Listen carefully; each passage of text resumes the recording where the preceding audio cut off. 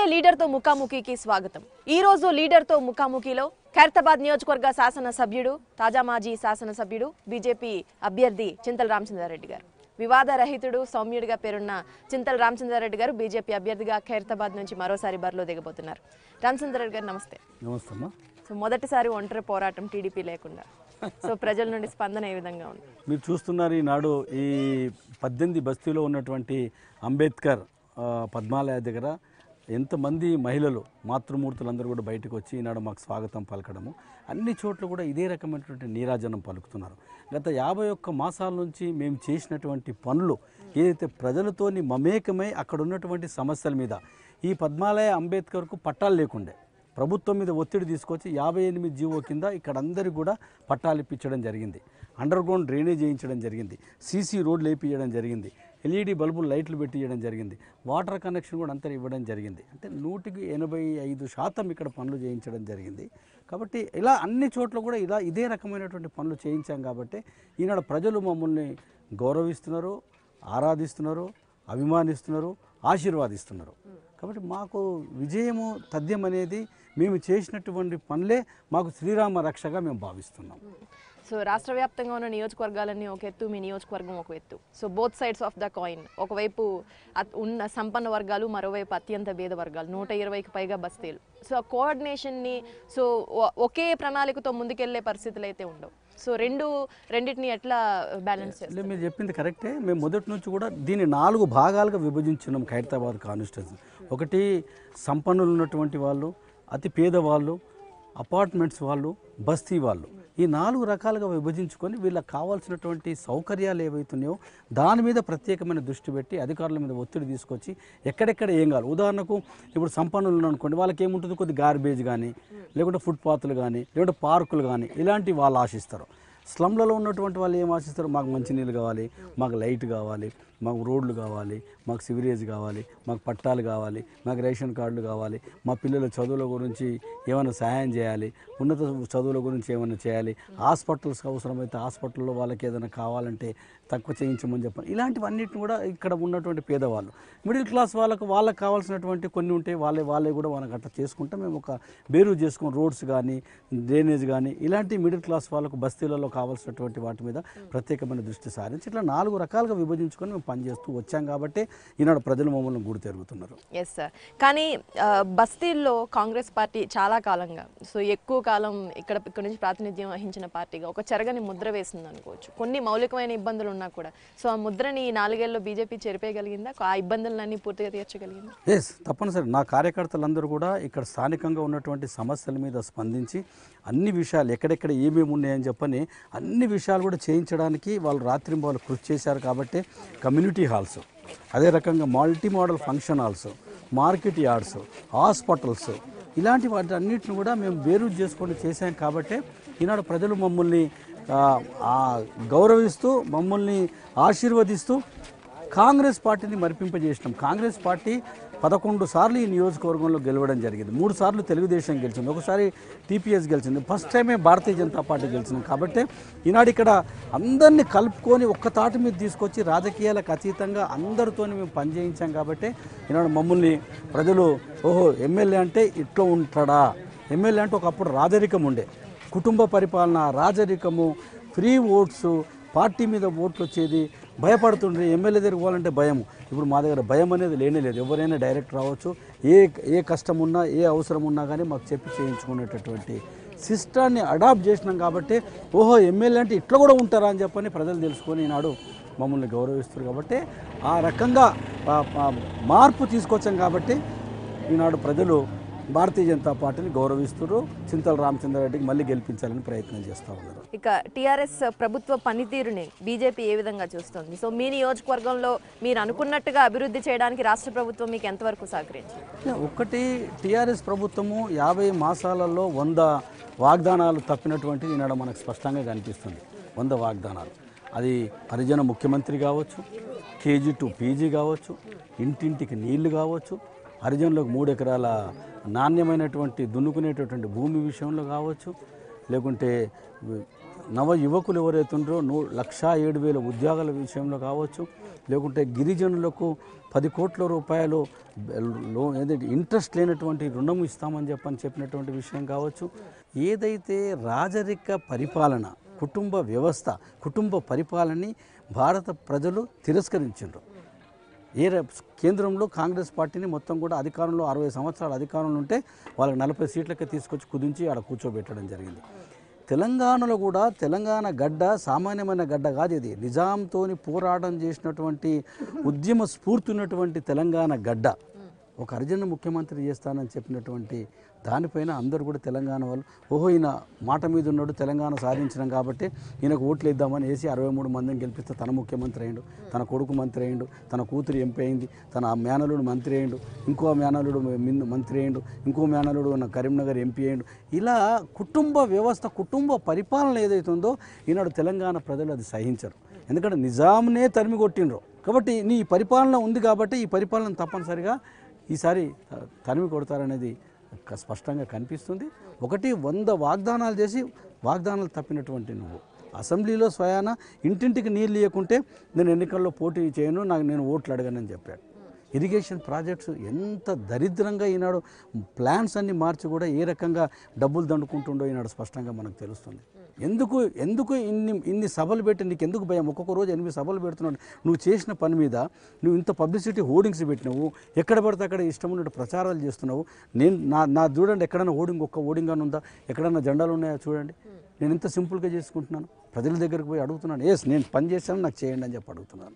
కానీ పట్టాలు ఇచ్చిన తర్వాత ఇంతకుముందు కాంగ్రెస్ పార్టీ హయాంలో ఉన్నట్టుగా ఇళ్ళ నిర్మాణానికి పేదలకు డబ్బులు ఇస్తే ఇల్లు కట్టుకునేవారు. కానీ అవకాశం కూడా లేకుండా ఈ నాలుగేళ్ళలో అభివృద్ధి అంతా కుంటిపడిపోయినట్టుగా పూర్తిగా సో దాన్ని ఏ విధంగా మీరు ప్రజల్లోకి తీసుకెళ్ళబోతున్నారు? ప్రజలకు అదే ఇప్పుడు ఈ పక్కనే ఉన్నది ఇరవై ఆరు ఎకరాల స్థలము గవర్నమెంట్ స్థలం. ఇలా డబుల్ బెడ్రూమ్ కట్టొచ్చు కదా?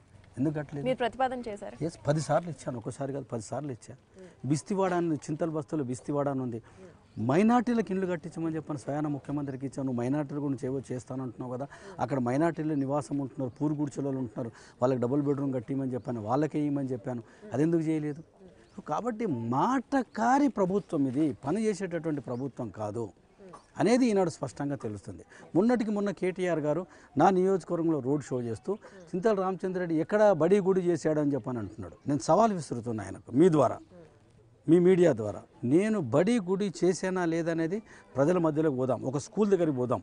నేను స్కూల్లో ఏం చేశానో పిల్లలు చెప్తారు. నేను గుడి ఎన్ని కట్టానో గుళ్ళను మీకు లెక్క పెట్టి చూపిస్తాను. నలభై గుళ్ళు నేను కట్టి నడుస్తున్నటువంటిది నాలుగు గుళ్ళు ప్రతిష్ట జరిగినటువంటివి. అవి మీరు చూసిన తర్వాత ఒకవేళ నేను చెప్పింది తప్పైతే నేను ఎన్నికల నుంచి పోటీ విరమించుకుంటా. ఒకవేళ ప్రజలు చెప్పి నీ కళ్ళ ముంగట కనిపిస్తుంటే నువ్వు పోటీ నుంచి సిరిసిల్ల నుంచి విరమించుకుంటావా? నేను ఛాలెంజ్ చేశాను. కానీ మీరు నిజంగా మీ ఫౌండేషన్ ద్వారా కూడా పెద్ద ఎత్తున శ్రద్ధ చూపించారు. బళ్ళ విషయంలో అయితే ప్రత్యేకంగా మీరు ఎన్- ఎన్నికలనే కాదు గత నాలుగేళ్ళలో కూడా ఎప్పటికప్పుడు స్కూల్ బ్యాగులు పంచిపెట్టడం పిల్లలకి కార్యక్రమాలన్నీ చూస్తాం నేను ఒక్కటి పిల్లలకు ఇప్పుడు ఓట్ల రాజకీయం చేయలే. నేను ఓట్ల వైద్యం విద్య మీద ప్రత్యేకమైన శ్రద్ధ వహించాము అదే రకంగా బడి గుడి అనే ఒక కార్యక్రమం తీసుకోవడం జరిగింది. గుడి ద్వారా సంస్కారం రావాలి బడి ద్వారా జ్ఞానం రావాలి. ఈ రెండింటిని కూడా క్రోడీకరించుకొని అన్ని చోట్ల కూడా ఎక్కడ ఎక్కడ కావాలంటే అక్కడ గుళ్ళ గురించి ప్రతి గవర్నమెంట్ స్కూల్లో చదివే పిల్లలకు తొమ్మిది పదో తరగతి చదివే పిల్లలకు సైకిళ్ళు ఇచ్చినాం. మూడు వేల ఐదు వందల సైకిళ్ళు ఇచ్చినాం.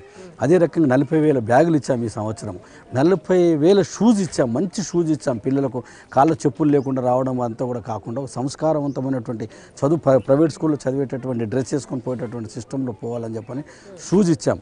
అదే రకంగా వాళ్ళకు సాక్స్ ఇచ్చాం అదే రకంగా ఒక్కొక్కరు పది నోట్బుక్లు ఇచ్చాము. ఒక స్కూల్లో సోలార్ పెట్టించాము వైఫై పెట్టించాము డైనింగ్ హాల్ కట్టించాము రెగ్యులర్ వాటర్ ఇచ్చాము టాయిలెట్స్ కట్టించాము. ఇలా బళ్ళన్నింటిలో కూడా ఒక అప్గ్రేడేషన్ చేయాలని చెప్పిన గవర్నమెంట్ స్కూల్స్ కూడా ఆలోచనతో చేస్తున్నాం. ఎర్రమంజిల్ స్కూలు ఏడు కోట్ల మూడు లక్షల రూపాయలు శాంక్షన్ చేపించి నా డెవలప్మెంట్ ఫండ్ నుంచి కూడా ఒక బ్రహ్మాండమైన తెలుగు రాష్ట్రాల్లో లేనటువంటి విద్యాలయం నిర్మాణం చేయాలని ఐదు వేల గజాల్లో డిజైన్ చేసి ప్లాన్ చేసాం తొమ్మిది మాసాల ముందస్తు ఎన్నికలు పోవడంతో ఆ స్కూలు నిర్మాణం మొదలు కాలేదు. ఇట్లా నేను నా యొక్క నెమి ఫౌండేషన్ ద్వారా పెళ్ళి కానుకని పెట్టాను. ఎవరైతే పేదవాళ్ళు పెళ్ళి చేసుకుంటే నా నియోజకవర్గంలో ఆడపిల్లలు కానీ మగపిల్లలు కానీ ఎవరైనా కానీ పెళ్ళి చేసుకుంటే ప్రభుత్వం ఒక ఆడపిల్లకే ఇస్తుంది. కానీ నేను మగపిల్లవారికి ఆడపిల్ల ఎవరు పెళ్ళి చేసుకుని ఒక తులం బంగారం. ఈ తులం బంగారంలో అరతులం పుస్తే అరతులం రింగు. తర్వాత ఒక తులము వెండి లాకెట్ ఇస్తాం వెంకటేశ్వర స్వామి ఇంకో తులం మెట్టలు ఇస్తున్నాం. అమ్మాయికి పట్టు చీర అబ్బాయికి సూటు. ఈ రకంగా మేము ఒక యాభై వేల రూపాయల కిట్ ఐదు వందల డెబ్బై రెండు మందికి ఇప్పటివరకు ఇవ్వడం జరిగింది. రామచంద్రరెడ్డి గారు కాంగ్రెస్ పార్టీ తర్వాత అనేక వాగ్దానాలతో కేంద్రంలో అధికారంలోకి వచ్చిన బీజేపీ సహకారం ఖైరతాబాద్ నియోజకవర్గానికి ఎంతవరకు ఉపయోగపడింది? ముఖ్యంగా కేంద్ర ప్రభుత్వంతో వచ్చేటటువంటి పథకాలు దగ్గర దగ్గర నాలుగు వందల తొంభై ఎనిమిదిలో వంద పైన ఇక్కడ లబ్ధిదారులు పొందారు. ఉదాహరణకు గర్భిణీ స్త్రీలు ఉన్నారు గర్భిణీ స్త్రీలు కేంద్ర ప్రభుత్వం నుంచి ఆరు వేల రూపాయలు ఇస్తున్నారు వాళ్ళ గర్భిణీలకు పౌష్టికాహారం కేంద్ర ప్రభుత్వం నుంచే అంగన్వాడీలు కేంద్ర ప్రభుత్వం నుంచే పిల్లలకు మధ్యాహ్న భోజనం పథకం కూడా కేంద్ర ప్రభుత్వం నుంచే. ఇది కాకుండా చిరు వ్యాపారాలు చేసుకునేటటువంటి వ్యాపారం చేసుకునేటటువంటి వాళ్ళకు నలభై కోట్ల రూపాయల ముద్ర బ్యాంక్ నుంచి లోన్ ఇప్పించడం జరిగింది. జన్ధన్ కార్యక్రమంలో అకౌంట్స్ ఓపెన్ చేయించి వాళ్ళకి లక్ష రూపాయలు ఇన్సూరెన్స్ వచ్చేటట్టు చేశాము.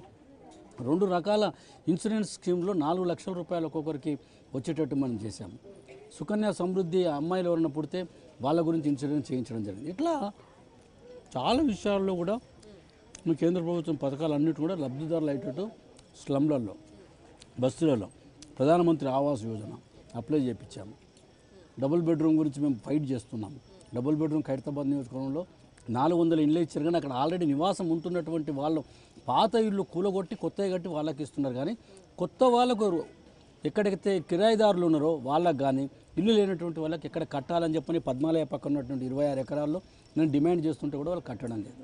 సో ఈ రకంగా కేంద్ర ప్రభుత్వ పథకాలు కూడా మేము ప్రజల మధ్యలోకి తీసుకు కానీ ఇప్పటివరకు టీఆర్ఎస్గా టీఆర్ఎస్ ఇన్ఛార్జిగా నియోజకవర్గానికి ఉన్న అభ్యర్థి సో పదే పదే మీపై ఆరోపణలు చేస్తూ వచ్చారు. కేంద్ర ప్రభుత్వం అధికారంలో ఉన్న కారణంగా చాలా చేసుకునే అవకాశం ఉంది నియోజకవర్గానికి కానీ చింతల రామచంద్రారెడ్డి ఏమి చేయలేకపోయారని పదే పదే చెప్తూ ఉన్నారు. ఏం సమాధానం చెప్తారు అంటే వాళ్ళకు ఒకటి ఆపోజిషన్ మాట్లాడాల్సిన ఏది చేసినా కానీ దానికి వ్యతిరేకంగా మాట్లాడాల్సిన అలవాటు ఉంటుంది కదా. ఆ రకంగా మాట్లాడాను కానీ ఇప్పుడు అతను ఆ పార్టీలో ఉన్నాడా? ఆరోపణలు చేసినటువంటి వ్యక్తి ఏ పార్టీలో ఉన్నాడు ఇప్పుడు? బీఎస్పీ నుంచి చేస్తున్నాడు. ఎథిక్స్ లేనటువంటి వాళ్ళు రాజకీయాలలో కంపు చేస్తూ బట్టలు ఏ రకంగా మార్చుకుంటామో ఆ రకంగా పార్టీలు మార్చేటటువంటి వాళ్ళు. నిరంతరము భారతీయ జనతా పార్టీలోనే జనతా పార్టీ జనసంఘ్ పార్టీ సంఘ స్వయం సేవగా యాభై సంవత్సరాల నుంచి నేను ఇదే పార్టీలో ఉండి పనిచేస్తున్నటువంటి వ్యక్తి వ్యక్తిని నేను. నా మీద వీళ్ళ ఆరోపణ మోపడమా? అంత స్థాయి వాళ్ళది. ఒకటే నియోజకవర్గాన్ని పట్టుకొని నేను పోటీ చేస్తున్నాను నైన్ నైన్టీన్ నైంటీ ఫోర్లో ఖైరతాబాద్ పోటీ చేశాను టూ థౌజండ్ నైన్లో ఖైరతాబాద్ పోటీ చేశాను టూ థౌజండ్ ఫోర్టీన్లో ఖైరతాబాద్ పోటీ చేస్తా టూ థౌజండ్ ఎయిటీన్లోనే ఖైరతాబాద్ పోటీ చేస్తున్నాను వాళ్ళలాగా నియోజకవర్గాలు మారినటువంటి వాడిని కాదు నేను. ఇప్పుడు టీఆర్ఎస్ అభ్యర్థి ఇంతకుముందు ఎక్కడ పోటీ చేసిండు ఇప్పుడు ఎక్కడ పోటీ చేస్తుండే ఎక్కడ ఎమ్మెల్యే ఉండి ఇప్పుడు ఎక్కడ ఎమ్మెల్యే పోటీ చేస్తుండో ఆలోచించండి. సో కాబట్టి ఇవన్నీ రాజకీయ లబ్ధి గురించి చాతగాని మాటలు ఇవన్నీ. ఒక పక్క వివాద రహితుడు చింతల రామచంద్రారెడ్డి. మరోవైపు విద వివాదాలకు అత్యంత దగ్గరగా ఉండే వ్యక్తి మీ బలమైన అభ్యర్థి. సో ప్రజలు ఎవరి ఎవరిని దగ్గరగా తీసుకునే అవకాశం కనిపిస్తుంది? ఇవన్నీ ప్రజలు ఆలోచించే పరిస్థితులు ఈరోజు డబ్బు ప్రభావం కారణంగా నిజంగా ఉన్నాయనుకోవాలా? ఏం చెప్తారు? తప్పనిసరిగా ప్రజలు ఆలోచించే గతసారి ఎన్నికల్లో మంత్రి ఉన్న కాంగ్రెస్ పార్టీ నుంచి పోటీ చేసి మంత్రిగా ఉన్నటువంటి వ్యక్తిని ఇరవై ఒక్క వేల ఓట్లతో ఓడగొట్టింది మనకు తెలుసు. ఇంతకన్నా ఇంకా మీకు రుజువు ఏం కావాలి? ఇప్పుడు మంత్రి లేడు పార్టీ ఫిరాయించిండ్రు. ఆ పార్టీ నాలుగో స్థానంలో ఉండే. టీఆర్ఎస్ పార్టీ గత ఎన్నికల్లో నాతో పోటీ చేసిన అభ్యర్థి నాలుగో స్థానంలో ఉండే. నాలుగో స్థానంలో ఉన్నటువంటి పార్టీ పార్టీ ఫిరాయింపు చేసి ఇరవై ఒక్క వేల ఓట్లతో ఓడిపోయినటువంటి వ్యక్తి వివాదగ్రస్తుడిగా ఉన్నటువంటి ల్యాండ్ ఏదైనా కన్స్ట్రక్షన్ చేస్తే సెటిల్మెంట్లు భూ కబ్జాదారు మీకు తెలుసు రోడ్ నెంబర్ ట్వెల్వ్లో ఉన్నటువంటి హరే రామ హరే కృష్ణ మూమెంట్ వాళ్ళది. ఐదు ఎకరాల స్థలంను కబ్జా చేద్దామని చెప్పని హరే రామ హరే కృష్ణ వాళ్ళని కొట్టి పంపించి దాన్ని కబ్జా చేద్దామని ప్రయత్నం చేశాడు. ఇవాళ ఏమైంది అది భవ్యమైనటువంటి దేవాలయ నిర్మాణం జరిగింది. వంద కోట్ల రూపాయలతోనే దానికి మొత్తం ప్రాజెక్టు ఇవాళ వస్తుంది. ఎందుకు వచ్చింది? ఎవరి గురించి వచ్చింది? ప్రజల గురించి వచ్చింది. ప్రజలది దండుకుందామని ప్రయత్నం చేసిండు. కబ్జా పెట్టుకుందామని ప్రయత్నం చేసిండు. దేవుడు కూడా ఆయనను క్షమించలే. అందుకని ఇరవై ఒక్క వేల ఓట్లతో ఓడగొట్టాడు. అలాంటి వాళ్ళు ప్రజలు సహించరు ప్రజలు దగ్గర రానియరు ఈనాడు చూస్తున్నాం ప్రజలు ఏ రకంగా తిరస్కరిస్తున్నారు? తప్పనిసరిగా అతనికి మళ్ళీ పరాభవం తప్పదు. మళ్ళీ వచ్చే ఎన్నికల్లో ఇంకో పార్టీలో చేరుతాడనేది కూడా దాంట్లో మనకు అనుమానం కూడా ఏం లేదు. ఎస్ రైట్ ఇక సిటీలో ఉన్న ప్రధానమైన ప్రాంత ప్రాంతాలు Banjara Jubilee Hills Raj Bhavan road Panjagutta ప్రధానమైన మణిహారం లాంటి ప్రాంతాలన్నీ కూడా మే నియోజకవర్గంలోనే ఉన్నాయి. కానీ ఒక్క మెట్రో మినహా ఆ స్థాయిలో అంతర్జాతీయ నగరంగా మారే అటువంటి ప్రతిపాదనలు ఏవి కూడా తీసుకురాలేకపోయారు. ఎందుకు? అది టీఆర్ఎస్ ప్రభుత్వ వైఫల్యమా? లేకపోతే ఏం జరిగింది అసలు ఈ నాలుగేళ్ళలో? ఎటువంటి ప్లాన్ కూడా వేయకపోవడానికి ప్రధానమైన కారణాలు ఏంటి? ఎటువంటి చేంజెస్ కూడా కనిపించట్లేదు. మీకు ఒక ఉదాహరణ చెప్తాను. దాంతో మీకే అర్థమవుతుంది. ఆ స్కీమ్ ఒకటి administrative staff college of India ముందు నుంచి అండర్ గ్రౌండ్ ఒక రోడ్ వేయాలి బ్రిడ్జ్ కట్టి రోడ్ వేస్తే మన ఇందిరాగాంధీ స్టాచ్యూ ఏదైతే నెక్లెస్ రోడ్ ఇందిరాగాంధీ గారి స్టాచ్యూ ఉందో అక్కడ దాకా పోవడానికి బాగుంటుందని సెవెన్ మీటర్ విడుతుతోని రైల్వే డిపార్ట్మెంట్తో ఒప్పించి నేను ఒక డిజైన్ చేయించి దానికి ఎస్టిమేషన్ కూడా వేయించడం జరిగింది. ఈ ప్రభుత్వం రిఫ్యూజ్ చేసింది. మూడు సంవత్సరాల క్రితం. అంటే ఈ ప్రభుత్వానికి విజన్ లేదు. ట్రాఫిక్ సెన్స్ లేదు. ట్రాఫిక్ ఇంత పెరుగుతున్నటువంటి ట్రాఫిక్ని ఏ రకంగా నియంత్రణ చేయాలని చెప్పని వీళ్ళకి ఆలోచన లేదు. మేము అసెంబ్లీలో చెప్పాము. ఒక మొత్తం ల్యాండ్ ఆర్డర్ కమిషనర్ ఎట్లయితున్నాడో హైదరాబాద్ కూడా ట్రాఫిక్ కమిషనరేట్ ఏర్పాటు చేయమని చెప్పని చెప్పడం జరిగింది. రోడ్ల విషయంలో వైట్ ట్యాప్ రోడ్స్ చేయమని చెప్పాము. సివరేజ్ విషయంలో eighteen hundred MM dia and Nizam పీరియడ్లో ఐదు లక్షల కెపాసిటీకి ఐదు లక్షల పాపులేషన్కు డిజైన్ చేసినటువంటి సివరేజ్ ఏదైతే ఉందో ఈనాడు కోటి పైన జనాభా పెరిగిండ్రు. కాబట్టి ఎయిటీన్ హండ్రెడ్ ఎంఎం డయాగిట మీరు పైప్ లైన్ వేసినట్టయితే ఈ యొక్క సివరేజ్ అంతా కూడా మన కంట్రోల్ ఉంటుందని చెప్పని చెప్తే ఈ ప్రభుత్వం నాలుగున్నర సంవత్సరాలు పట్టుకో పట్టించుకోలేదు. నేను ఎన్నోసార్లు అసెంబ్లీలో చెప్పా. ఈనాడు మంచినీళ్ళు ఎంత పొల్యూటెడ్ వాటర్ వస్తున్నాయి పబ్లిక్ అంతా కూడా ఎక్కడ ఏ బస్తీలో పోయినా పొల్యూటెడ్ వాటర్ వస్తుందని చెప్పంటున్నారు నాలుగు సంవత్సరాల నుంచి అధికారుల దృష్టికి తీసుకెళ్ళా. ప్రభుత్వానికి చెప్పా అసెంబ్లీలో వాదించా. ఇన్ని చెప్పినా కానీ ప్రభుత్వం పట్టించుకోవడం లేదు. అంటే వాళ్ళకు హైదరాబాద్ మీద హైదరాబాద్ డబ్బు అవసరం. ఇప్పుడు దే రాష్ట్రం మొత్తానికి నూటికి డెబ్బై శాతము నిధులు హైదరాబాద్ నుంచి ట్యాక్స్ రూపాన్ని వస్తున్నాయి. కానీ హైదరాబాద్ అభివృద్ధి గురించి వీళ్ళు పట్టించుకోలేదు. అలాగని చెప్పిన మిగతా జిల్లాలు పట్టించుకోదని అనడం లేదు. కానీ వీళ్ళకు హైదరాబాద్ మీద హైదరాబాద్ ఎన్నెన్ని మాటలు చెప్పారు? హుస్సేన్ సాగర్ మొత్తం కూడా క్లీన్ చేసి కొబ్బరి నీళ్ళు చేస్తానడు. ఏమైంది? ఎవరు చేయొద్దన్నారు మేము ఆపామా? రోడ్ల విషయం ఈనాడు చూస్తున్నాం. ఎంత దరిద్రంగా రోడ్లు ఏర్పడి ఉన్నాయి. నేను చూడు ఈ పద్మాలయాల్లో నేను ఎంబడి బడి పడి పడి ఈ రోడ్లు వేయించా అండర్ గ్రౌండ్ డ్రైనేజ్ వేయించా మీరు చూడు ఈ ఈ స్లమ్లో ఎక్కడైనా మురుక్కాలు ఉందా చూడండి. నేను ఎమ్మెల్యే కాగానే ఈ మొత్తం ఈ బస్తీ తీసేస్తామని చెప్పారు. అంతకుముందు పట్టాలు లేకుండే. తీసేస్తామంటే నేను ఎంబడిపడి అధికారుల మీద కొట్లాడి గవర్నమెంట్ మీద కొట్లాడి వీళ్ళందరూ కూడా పట్టాలు ఇప్పించడం జరిగింది. అంతకుముందు వీళ్ళకి పట్టాలు లేవు. సో ఇట్లా ఒక విజనరీతో పనిచేస్తున్నాను కేబీఆర్ పార్క్ ఎదురుగా కూడా ఒక స్కైవే మీరు ప్రపోజ్ చేసినట్టుగా కూడా వార్తలు వచ్చాయి. సో అది ఎంతవరకు వచ్చింది? సో అది అమలు జరిగే అవకాశాలు ఉన్నాయి అసలు? ఐదు వందల పది కోట్ల రూపాయలు నేను శాంక్షన్ చేపించే స్కై ఓవర్స్ నా నియోజకవర్గంలో మొదలైనవి. ఒకటి కేబీఆర్ పార్క్ దగ్గర రెండోది Jubilee Hills road number forty five నుంచి మైండ్ స్పేస్ వరకు నా నియోజకవర్గంలో మొదలైంది. సోమేష్ కుమార్ గారు ఉన్నప్పుడు నేను ఆయన కూర్చొని ఈ స్కై ఓవర్స్ చేస్తేనే సిగ్నల్ లెస్ సిటీ అవుతుందని చెప్పని ముందు ప్లాన్ చేశాం. దానికి కేబీఆర్ పార్క్లో గ్రీన్ ట్రిబ్యునల్కి పోయి కేసేసి అది ఆపడం జరిగింది. మరి అది ఎంతవరకు వస్తుందనేది నేను కూడా చెప్పలేను. ప్రభుత్వానికి కూడా చిత్తశుద్ధి లేదు. వాళ్ళందరూ కూడా మోటివేట్ చేసి ఒక్క చెట్టు కూడా పోదు. ఈ చెట్లన్నీ ఇంకా ఒకటికి పది చెట్లు పెడదాము.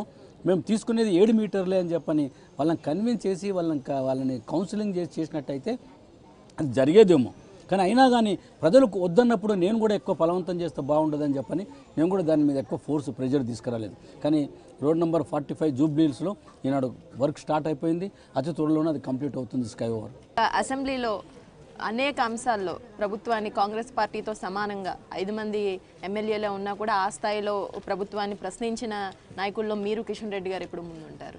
సో మీరు తీసుకొచ్చిన అనేక అంశాలు ప్రతిపాదనలు బడ్జెట్ ఎక్కువ అవుతుంది బడ్జెట్ విషయంలో అప్పులు ఎక్కువ చేస్తున్నారనే అంశాలు కావచ్చు ఇలా అనేక అంశాల్లో మీరు రాష్ట్ర ప్రభుత్వాన్ని ఎదిరించినా కూడా కొంత కేంద్ర ప్రభుత్వం నుంచి మీకు సహకారం లేని కారణంగా రాష్ట్ర ప్రభుత్వాన్ని మీరు ఎదిరించలేకపోయారనే అంశం అయితే అంతర్గతంగా కూడా చాలామంది బీజేపీ నాయకులు చెప్తున్న సందర్భం మనం చూసాం. సో ఈ నాలుగేళ్ళ కోఆర్డినేషన్ అయితే మిస్ అయింది అనుకోవాలా పూర్తిగా కేంద్ర రాష్ట్ర పార్టీలకి? మీరు అడిగింది చాలా మంచి ప్రశ్న ఇది. ఎందుకంటే కేంద్ర ప్రభుత్వం నుంచి ఇరవై తొమ్మిది రాష్ట్రాలు మాదే టీమిండియా అని చెప్పని ప్రధానమంత్రి గారు చెప్పారు. ఈ తెలంగాణ రాష్ట్ర ప్రభుత్వానికి రెండు లక్షల ముప్పై వేల కోట్ల రూపాయలు తెలంగాణ రాష్ట్ర ప్రభుత్వానికి వివిధ పద్ధతుల మీద కేంద్రం నుంచి రావడం జరిగింది. అది నేషనల్ హైవేస్ కావచ్చు మూడు రూపాయల కిలో బియ్యం కావచ్చు సర్వశిక్ష అభియాన్ కావచ్చు లేకుంటే వైద్యం విషయంలో కావచ్చు లేకుంటే ప్రధానమంత్రి సడక్ యోజన గ్రామీణ సడక్ యోజన కావచ్చు ప్రధానమంత్రి డైరెక్ట్గా గ్రామ పంచాయతీలకు ఇచ్చే నిధులు కావచ్చు ఇలా చెప్పుకుంటూ పోతే రెండు లక్షల ముప్పై వేల కోట్ల రూపాయలు రాష్ట్ర ప్రభుత్వానికి ఇవ్వడం జరిగింది. మేము అదే చెప్తున్నాము. ఇంత డబ్బు ఇచ్చిన తర్వాత నువ్వు అభివృద్ధి ఎందుకు చేయలేకపోతున్నావు? ఈ డబ్బులు ఎక్కడ పోతున్నాయి? ఇప్పుడు ఈనాడు మీరు పెన్షన్స్ ఇస్తున్నారు. అది కేంద్ర ప్రభుత్వ నిధులు కూడా దాంట్లో ఉన్నాయి దాంట్లో. డబుల్ బెడ్రూమ్ ఎందుకు కట్టలేకపోతున్నారు? పన్నెండు వేల కోట్ల రూపాయలు డబుల్ బెడ్రూమ్కు కేంద్రం నుంచి నరేంద్ర మోదీ గారు నీకు హడ్కో నుంచి తక్కువ వడ్డీకి లోన్ ఇవ్వడం జరిగింది. నువ్వు ఒక లక్ష ఇరవై వేల ఇండ్లకు ఒక్కొక్క ఇంటికి లక్ష యాభై వేల రూపాయలు చొప్పున నీకు డబ్బులు నీ బ్యాంకులో ఆల్రెడీ కట్ ఇచ్చే ఇచ్చేయడం జరిగింది. ఇవన్నీ కూడా ఎందుకు జరుగుతలేవు అని చెప్పి మేము అసెంబ్లీలో నిలదీయడం జరిగింది. దళితులు దళితుల విషయంలో వి- విద్యార్థుల విషయంలో. ఈనాడు కేజీ నుంచి పీజీ ఎందుకు కొండెక్కింది? ఎందుకు కేజీ నుంచి పీజీ నువ్వు కేజీ నుంచి పీజీ విద్య ఇస్తానని చెప్పని నీ ఎలక్షన్ మేనిఫెస్టోలో పెట్టావు? ఎందుకు చేయలేదు? లక్షా ఏడు వేల ఉద్యోగాలు ఖాళీలు ఉన్నాయని చెప్పని మొదటి రోజున అసెంబ్లీలో మీరు చెప్పినటువంటి మాట ఇంతవరకు నువ్వు భర్తీ చేయలేకపోయినావు. ముప్పై నాలుగు వేల మందిని భర్తీ చేశావు.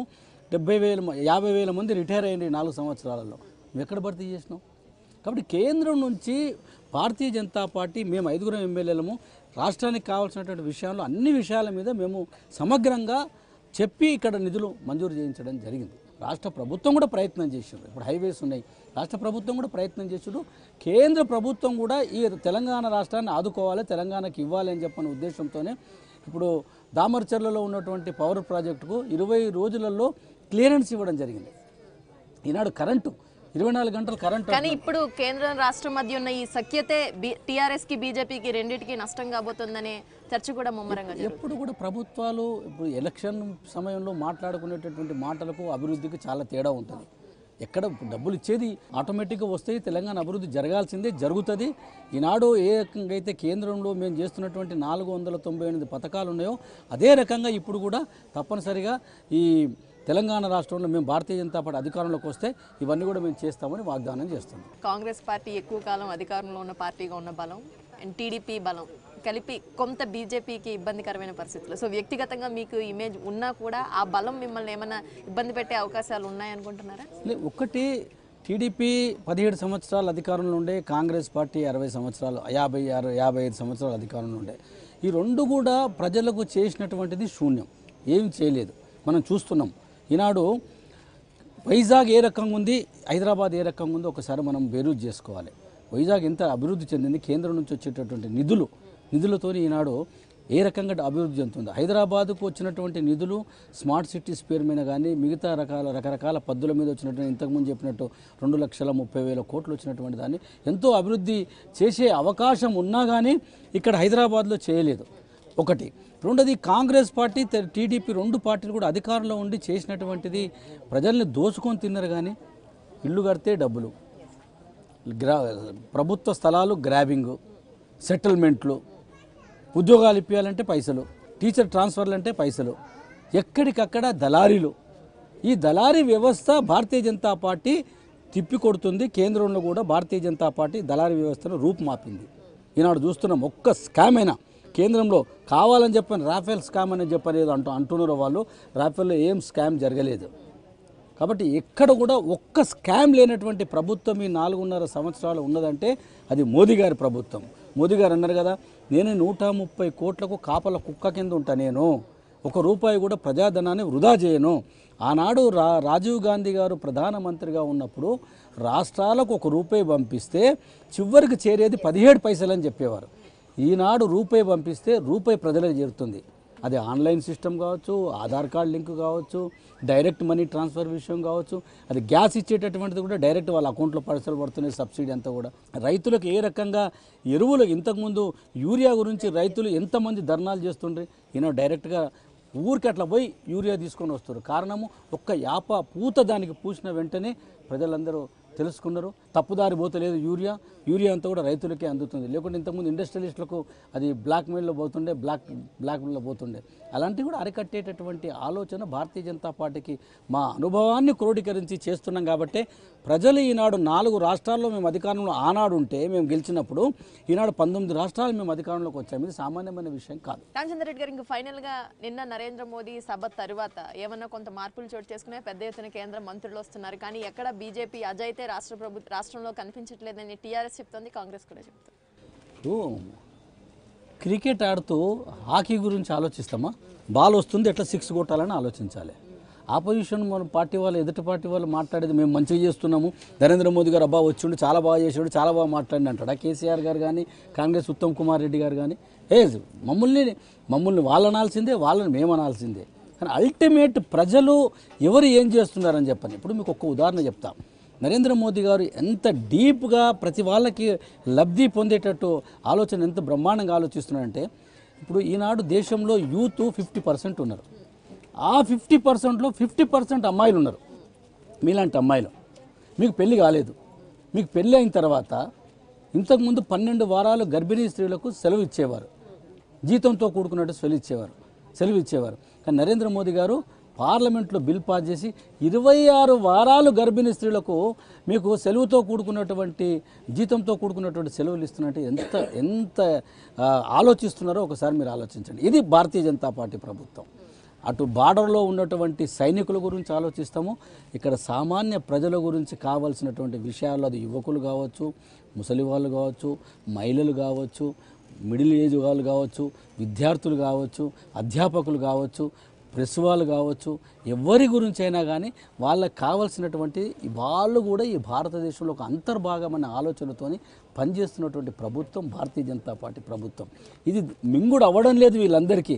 వీళ్ళేంద్రా వచ్చిన తర్వాత ప్రతిదీ ఆలోచించి చేస్తున్నారు ఏంది అని చెప్పని. కాబట్టి ఇప్పుడు ఇప్పుడు గొర్రెలు ఇస్తున్నారు కేసీఆర్ గారు. ఎస్ మేము కూడా ఐదు వేల కోట్లు అన్నారు. వెయ్యి కోట్ల రూపాయలు సబ్సిడీ కేంద్ర ప్రభుత్వం నుంచి ఇచ్చాం కదా. దానికి కావాల్సినటువంటి బ్యాంకు సిపిఎఫ్ సిపిడిఎఫ్ నుంచి మేము లోన్ ఇచ్చాం కదా నాలుగు వేల కోట్లు కూడా.